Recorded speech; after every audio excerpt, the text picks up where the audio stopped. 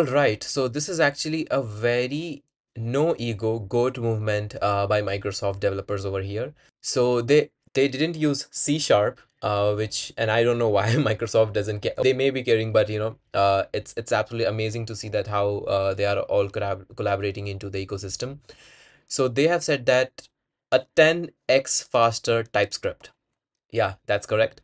And in that particular thing, they have used Golang and I personally love Golang a lot. Uh, although I was pretty skeptical that why they didn't use Rust or COBOL if if they are you know moving out of their ecosystem, they are not using C sharp. Then I was like, okay, so they are not using Rust, they are switching over to Golang, and they also told the reason that why they are doing into their video. So they have not rewritten uh, TypeScript into Golang. Uh, rewritten in the sense uh, when we when we do a rewrite, it's basically converting the whole code base. You basically start with nothing. But in porting, you just write exact thing that we have in uh, let's say TypeScript, and then you port that into Golang. So even the function name, or even if even if, if some if some bugs are there uh, into TypeScript, that also will be ported into Golang.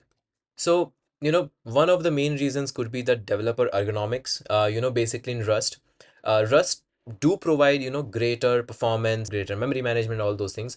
But if you are not writing Rust in a good form uh, that Rust expects you to write, then, you know, it's absolutely the same thing whether you write in Golang or Rust. So now we basically have TypeScript in Golang. Uh, work on uh, this Golang stuff, the repository and venturing onto the repository, we can see that how we can build the TSGO and all those things and then you can you know do some iterations. I'll be doing some experiments with this uh, in some other videos. Uh, but yeah now we have typescript in go.